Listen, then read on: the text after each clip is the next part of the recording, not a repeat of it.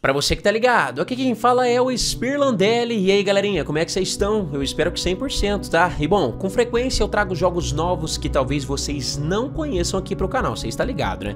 E recentemente a gente conversou a respeito de Pioneer, um jogo de sobrevivência pós-apocalíptico inspirado em jogos como Metro Exodus e também o Stalker. Para você que tá chegando agora e não imagina de nada do que se trata esse jogo, né, que por sinal eu vou deixar uma gameplay rolar no final do vídeo, fica tranquilo que eu vou explicar isso melhor para vocês. Pioneer é um game jogado em primeira pessoa e ele foi projetado pela GFA Games Studio. Ele também teve inspiração em jogos como Escape from Tarkov, tá? E foi revelado pela primeira vez há algumas semanas atrás, onde está num desenvolvimento alfa. E isso aqui não é só um RPG pós-apocalíptico, tá pessoal? Ele também se trata de um mundo aberto promissor com pegadas de MMO, tá? Que se iguala bem ali ao que The Day Before também quer fazer.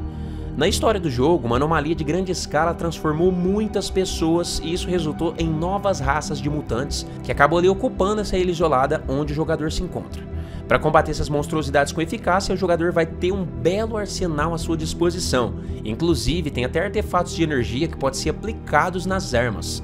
Esses artefatos eles mudam drasticamente a sua arma, tornando ela muito mais brutal contra os monstros, porém ali quase inúteis contra humanos normais.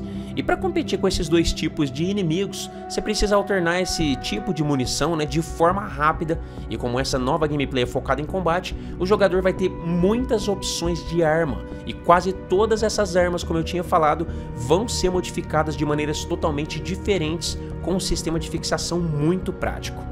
Algumas armas, galera, ou até um certo mod raro de uma arma, pode ser criado até usando sucata ou destroços que você encontrar ao redor, tá? É muito da hora isso aqui, hein, mano. E aumentar o tamanho do carregador ou melhorar a precisão da sua arma, parece que vai ser uma tarefa muito prática. A desenvolvedora diz que tem a intenção de entregar uma mecânica de jogabilidade prática para o jogador sem muita complicação. Se você tem uma experiência básica com jogos FPS, você vai praticamente se sentir em casa assim que você conseguir a sua primeira arma no jogo. Além do mais, a equipe por trás do jogo né, decidiu se desviar de movimentos lentos e desajeitados do personagem, como a gente vê em outros FPS, e sim trazer uma movimentação mais agradável e um tanto mais fluida. E esse ponto também vai ser aplicado tanto no gerenciamento de itens como no uso de armas também, né? E coisas relacionadas à jogabilidade, na esperança de que você possa se adaptar de forma bem rápida dentro do jogo. Então é isso, galera. Esse é Pioneer, tá? A gente já falou sobre esse game aqui no canal e isso aqui é um jogo que está sendo desenvolvido com o motor gráfico Unreal Engine 4 e vai ser lançado até o final de 2022 para PC e certamente para a nova geração de consoles. E aí, o que, que vocês acharam do jogo? Deixe aí nos comentários, ele tá bastante promissor, hein? Lembrando que o seu like ajuda muito o canal a ser mais reconhecido, tá? E se você quiser ficar antenado por dentro de todas as novidades, é só você se inscrever e ativar o sininho. Sempre que eu fizer um vídeo novo, o YouTube vai te avisar. Eu vou deixar essa nova gameplay rolar aí pra vocês, tá? Inclusive essa nova gameplay ela é baseada em combate, tá galera? Ela não tem nada a ver com essa gameplay que vocês estão assistindo aqui agora, beleza? Então é isso, um grande abraço, tudo de bom sempre, falou, falou, falou! Greetings, adventure seekers.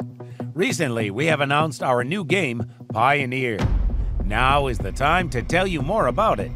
In this video, we will talk about one of the key features of the game, combat system and character controls. We would like to mention that the game is still in development and some aspects are subject to change. Let's start with character movement and controls.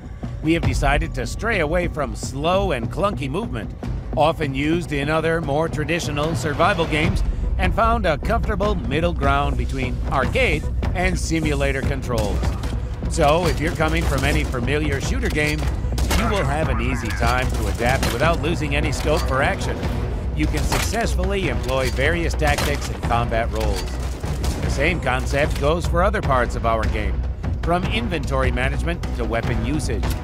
We want our players to have many possibilities without overcomplicating the gameplay mechanics.